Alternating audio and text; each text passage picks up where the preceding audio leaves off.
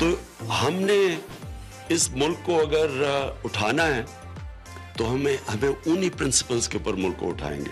और इन जो हमारी अब कोशिश है सारी, कि हमने कोशिश करनी है अपने कमज़ोर इलाके जो पीछे रह गए उनको ऊपर लेके आना है, जिसमें बलूचिस्तान है, पीछे रह गया इन पूरा आपके पास एक अच्छा चीफ मिनिस्टर आया है, जो समझते हैं इन चीज़ों को, उनके साथ हम काम कर रहे हैं।